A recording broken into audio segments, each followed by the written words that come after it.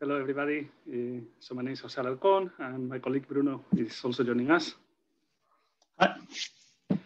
Welcome. And thanks, Nico. I think the, this was a great timing. Uh, Nico did an excellent introduction to radio radiation oncology, so we will skip over that. But we, Bruno and I, we work at Varian, and, and like Philips, Varian doesn't produce uh, uh, consumer electronic products, so probably not many of you are so familiar with our brand. So we, we develop software and devices for oncology patients. So our vision is a world without fear of cancer.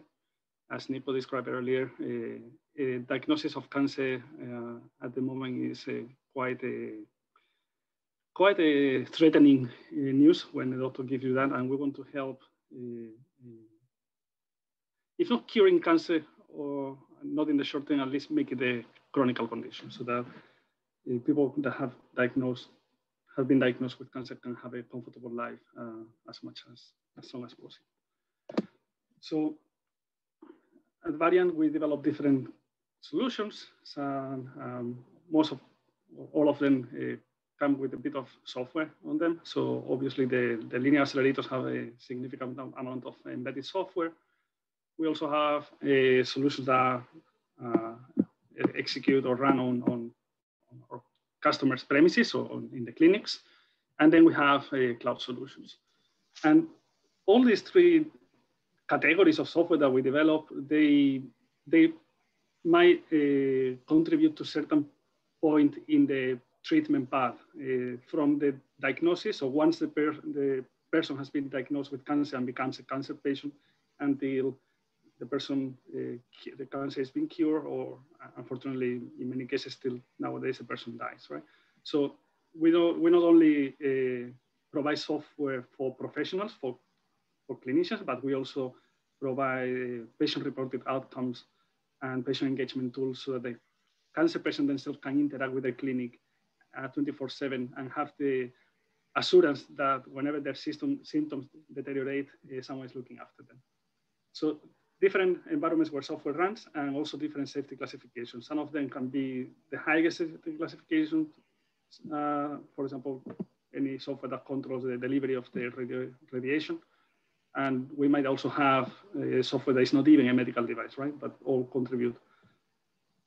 So we, we believe uh, that Agile help us developing uh, a software that is, so it helps us developing compliance software. So there's a lot of discussion about how can we make agile software development compliant or how can we apply software, agile software development in a regulated environment. So it's like trying to put control layers on top of agile. We believe that agile values, principles and practice when, when conducted with discipline and uh, they, they, actually enhance compliance. So this is pretty much uh, what we are going to talk today. So how how we how we see this uh, fit between the regulators, regulatory aspects, and the agile goals. So, as you know, uh, regulations exist for a very good reason. Uh, when we put a medical device in the market, we want to ensure the quality of the device so that it performs as it should, uh, it fulfills the clinical needs, uh, is free of defects, right? Uh, the device need to be safe, both for the patients, but also for the clinical users, for nurses and doctors that are using that device. And the device needs to be effective. So it needs to, it need to fulfill the user needs. So if you make a device that is safe and better quality, but it doesn't cure or it doesn't provide good quality images, uh, the device is not ready. Then uh, if we look at the, at the agile goals, agile values quality by prioritizing features so that you, you, you build the things that is more important to user first. Uh, iterative and incremental development. Uh, we don't know, uh, when, when, you develop software, there's so many unvalidated decisions that until that software is not being used by your end user, you don't really know are you doing the right thing. So by iteratively and incrementally building on and learning and making small experiments, you get better quality. Of course, Agile promotes productivity of the development team by focusing on what really is important and, and reducing waste, makes things more predictable. which is also something that is very important uh, because by having shorter iterations, uh, planning becomes more accurate. It's, it's, much easier to be predictable when you plan one or two weeks at a time than when you plan a six month or one year release. And obviously, uh, Agile promotes a lot of effectiveness. So as we see, we don't see a contradiction between the goals of regula regulators and Agile. And by the way, regulators are not interested in making our lives horrible as medical device manufacturers, right? Uh, some, sometimes you hear complaints about, oh, because a submission to FDA takes so long. Uh, there are very good reasons why, why those submissions are important.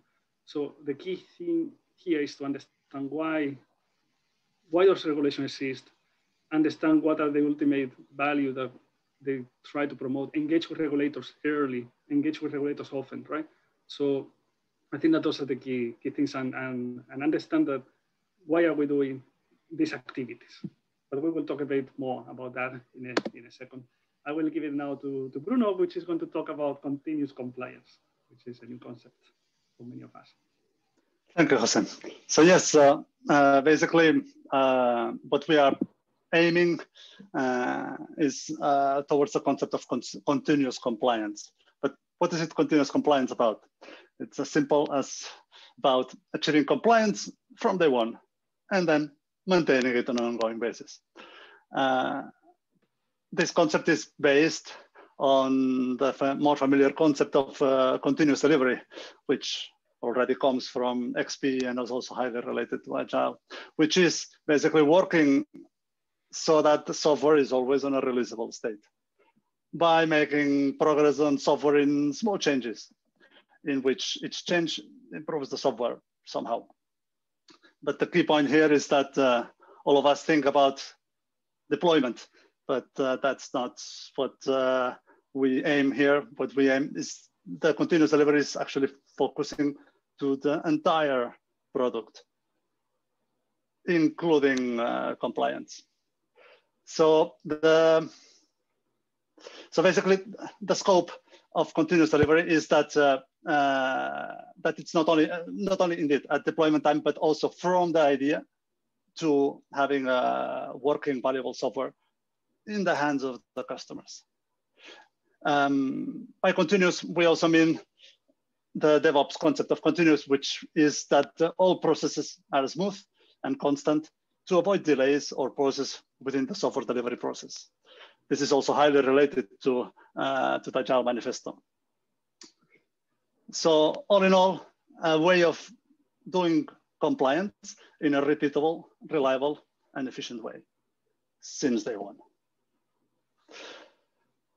Few key concepts uh, that we believe are very important to reach continuous compliance are that the team shall be in control of the whole aspects of the product, lightweight processes and automation at high level of automation. And that's what we'll uh, dig in now. So to be able to be continuous, uh, we believe that the team shall be in control of the whole aspects of the product. We need to have autonomous teams. And uh, this produces the needs of having a multidisciplinary team and as well uh, to have to reduce the complexity of the solution. Um, what does it imply having a multidisciplinary team? So it's to have a team that is able to uh, handle all aspects of the product development so that the, there are no delays, there are no handovers, there are no coordination uh, problems. This often means that uh, you need to take people from different specialized teams, put them together, and then make them learn how to actually work. Uh, those are uh, things that uh, Agile as well, and there are many other techniques that try to make that happen. Uh, because imagine having marketing people working with a backend engineer and the front end engineer, and then so uh, and so on and so on, and operations and etc. So all that, all that, everybody needs to work together. However, how can you do that when you have a very complex solution? When you have a huge team, how do you, how are you able to rethink your application architecture, architecture so that you end up having autonomous teams to be able to be continuous? To be able to not having delays? How do you rethink, how do you change your organizational mindset? uh, so that you are supporting this. How do you then reduce or eliminate the team dependencies so that you can release whenever you want? Those three concepts actually are uh, identified as the top challenges by organizations in this uh, year's 2020 State of DevOps report, which, is, uh, which is a report that it's based on a survey done at least during this year for about 2,400 participants from organizations around the world who work on IT, uh, software development, and information security and related areas. Jose? Thank you, Bruno. So what we believe is that in order to achieve com continuous compliance, uh, we need to be compliant at every small increment, at every level of software development. Uh, this is a concept that is well aligned with the Technical Information Report uh, 45, which is a document produced by the Association of Advancements of Medical Instrumentation, I think is the, the name of the organization. So basically, this document tries to map the activities and processes defined in the IEC standards uh, for medical device software development to a iterative and incremental uh, development process. So if you look at the standard and you see the, these activities, you might get the impression that they need to be performed in a linear manner. Uh, however, the standard doesn't, doesn't tell you, doesn't talk about the, what, what, what model of SDLC you should be using. So TIR 45 address this and clarify how you can uh, be compliant with the standard uh, while doing incremental and iterative development using agile or any other, whatever process you, whatever methodology you are. So we need to be compliant at the story level, at the increment level, and at the release level. So every time a developer picks a Jira item, works on it and produces code, together with that, uh, there needs to be a certain level of documentation, certain level of design, certain level of architecture, change management, uh, review, all that things, uh, as we learned earlier this morning, you need to have this kind of binary ID, right? That, that you have unique you can trace a change to why the change was made and where the change was verified. Then uh, you check those different individual stories to build a product increment. At that level, you might have another layer of verification, another layer of documentation that need to be produced, and so on, and all the way until the release. Once once you put that piece of software into your customers, right? That including validation. So, so this is the key thing that uh, whatever verification you do at the story level will contribute to the increment. So you don't need to repeat exactly the same step. You can, you can take credit from the work that you have already performed. In the increment level, you might do a different kind of verification. You might do more like integration type of performance type of work, right? But the, the, the important thing is that all those activities are really equally important. The things that the focus at different layers is in different place. And then what we believe is super important is that all production changes flow through the same process. We don't have exceptions. This is something that regulators love because as we discussed again earlier this morning, uh, regulators without an auditor will come and ask you, what is the process you use to, to develop software? Can you provide me evidence that you follow that process? So by having automation and, and having all changes, regardless whether it's a new feature, whether it is a bug fix, whatever is in, in the worst case, a recall, right? through flowing through the same process, through the same machinery, uh, uh, provides automatic traceability and, and, autom and automated verification, right? Uh, when, when you have automated all those aspects. and why is this important?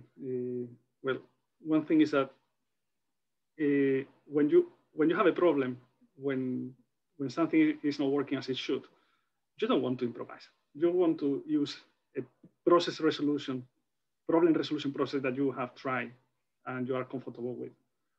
So by practicing this process during your day-to-day -day work, you are in better situation, better prepared for when things don't go well, so that you, you know, you can trust that the process that you have in place will help you move forward.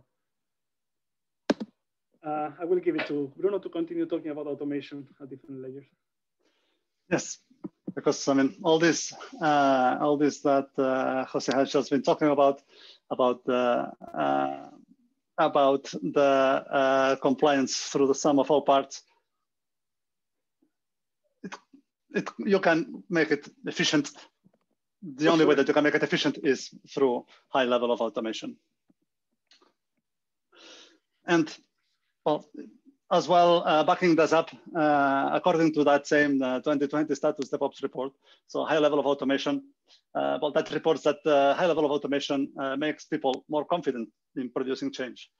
And reasons being could be that thanks to continuous testing, so anybody in the team can add value especially software engineer, can add value by knowing that it's backed up by a good harness of regression tests, giving instant feedback without having to wait. Especially those tests are brought in as early as possible in the development uh, pipeline. Or that thanks to com automated compliance that uh, Jose was talking about. So uh, you know that the work that is done is automatically traced, signed, and reported. And there are no exceptions because all changes, whatever their nature, are treated the same way. This you can imagine that brings quality to a to a different uh, league, different level. What about continuous delivery? So that uh, at the point of release, so you at the point that you decide that the team, uh, that the autonomous team decides that uh, now it's time to do a release, you just press a button and then the customers are already enjoying about it. It doesn't really matter. You don't need to coordinate. It just simply works by using machines to, uh, to what they are uh, used for. And then last but not least, uh, the automated product analysis. So imagine that when you are doing retrospectives, uh, you have access to all the product analytics to be able to evaluate your work and the way evaluate your work, evaluate the way that you work and to improve.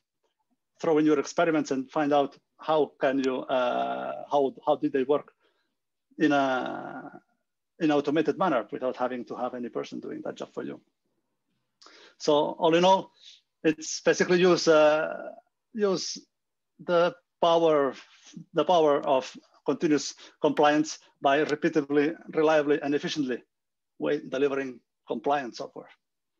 As well, we would like to add that uh, also in that very same report also highlights that fact that uh, that is highly manual approvals uh, or manual signing processes decreases the, man the change management efficiency up to nine times. Jose? Thank you, Bruno.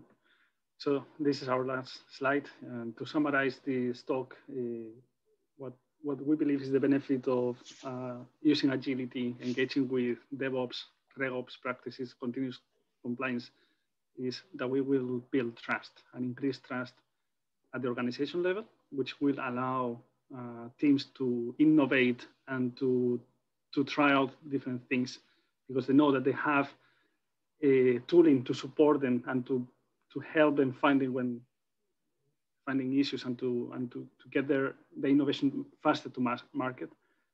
Uh, it will help us build trust with our customers because whenever we make a release, they they know that this release will not break their existing workflows, that is going to be perform performing, that is going to be new improvements that are useful and valuable for them. And, and obviously we will build trust with regulators by producing automated evidence uh, of uh, follow that we, we follow our uh, SDLC when, when we develop software by, by having all these uh, automation in place and having all these uh, audit logs creation part of our, our pipelines. So Bruno, you can finish this talk today. Um, all in all, what, yes, uh, Jose, all in all, what we are aiming or what we are explaining here is that uh, basically use the machines for what they are good at and use people for, for what they are good at. So use machines for doing the repetitive work, for contributing big parts of the continuous compliance, on the continuous testing, on the continuous delivery. I saw in the comments that uh, we, we must not uh, forget about the, the human aspects. Definitely, I was trying not to say that uh, that uh, human aspects uh, that uh, that for instance like validation is not needed. Yes, definitely it's needed. The humans to explore, to test around it, to use the creativity to do that, not to do, not to do the re repetitive work. So basically, use the machines to be able to to, to do what they are good at and to reduce the level of the amount of surprises that our customers may find so that then they will be happily accepted new versions because they know that the product will be better. Auditors, same, same. They know that it's going to be less risk in, uh, in, in, in the new releases. And ourselves, or the engineering teams, know that uh, can spend more time in trying to think, try to be creative, try to explore, try to think out of the box. In fact, try to aim to produce a product that customers love. Thank you very much, Bruno. Now I think we we have time for for a few questions. Uh, we have a few minutes left. Yes, so there has been a, a pseudo uh, conference going in the chat. there were so many discussions that I was always losing the track. But uh, first that's, that's excellent that this that this is happening. Yes. yeah. That's so the point. first question is to Bruno. Uh, so there there there was a missing link for the DevOps uh, state of DevOps, and, and there's no Puppet and, and Google uh, state of DevOps links being shared. So was either one uh, the one that you were saying mentioning in the talk? Yes, I was I was referring, I think, the last one in the, the Puppet one. But yes. Okay. Good. And then um, Katja is, is pointing out that kind of I feel that the key is to automate all verification except some reviews or very few manual tests. Um, and that's kind of how the uh, engineer can make sure that the software is fulfilling the system requirements. But course, there's the legacy software that has problems. But then again, verification should not be the only key to measure quality. Any comments to this? So you kind of covered yes. it in a way. If I may say, Jose, just a second. Um, yes, uh, I saw in the morning, uh, Miko, uh, I think it was called Mike, sorry. Mike was also introducing the concept of, uh, of this uh, control, human controls in there. So clearly, uh, we didn't talk about that. We wanted to pass the message or emphasize more the message on the automated and DevOps, but clearly I fully agree with that vision, for instance, that, mm. that Mike was talking about in the morning. Any, any additions there, Jose? I fully agree. I think that uh, when we when we talk about automated testing and specific the uh, automated verification, not not so so the purpose of verification is to to ensure that that your implementation fulfills what what or meets your design, right? Mm-hmm. Uh, so so uh, there are certain things that can be easily automated, but some things like some end-to-end cases that it might not even be beneficial to automate because the effort the effort to automate is not going to pay back uh, what it takes to run it manually. Plus, uh, when you, you need to do some sort of exploratory testing where you use your creativity and, and your test skills to, to produce a script that then later you can automate. But I think mm-hmm. that this requires a, a, a, fine balance between automation plus human testing uh, being performed at the same time. Yeah. Uh, so there's one last question before I let Tessa loose. this is already there. So uh, there's a question about like how to automate the mandatory regulatory documentation. So it's fine to kind of have that, yes, this software works correctly, but how to actually prove that it works correctly. Any ideas? Without going to tools to support this, uh, one one way is to, to treat all documentation as code, right? So uh, treat your, your system designs, your software configuration management plans as code. So having in your code repository next to the code, you have a doc folder where you have all those documents and, and use some markdown language. Uh, whenever you are going to do a release, one of the steps, one of the artifacts you're going to produce is a PDF or, or a doc format document out of those uh, markdown languages. But it, I like a lot what uh, Vlad says in, the, in his presentations about the, the compliancy archaeologists, right? What we hmm. want to avoid is someone that comes and try to dig out two months of work or three months of work and say, why this engineer did this change here and try to dig out and then keep a documentation update. So yeah. the, the update needs to happen continuously at the same time that code change, right? So that's, then, yeah, that's a key concept here uh, just to add this compliance through the sum of all parts. I mean, uh, think small, but uh, have it all linked uh, so that then uh, you do the change when you do the change, and then it's all related in it in a way. So we have interesting new professions today. We have like investigator of things by Jörn and then we have a software archaeologist. any, anybody want to add any new professions to that list? hey, thank you, Jose and Bruno. It was really interesting topic and there's a lot of discussion going on in the chat, so go and join that.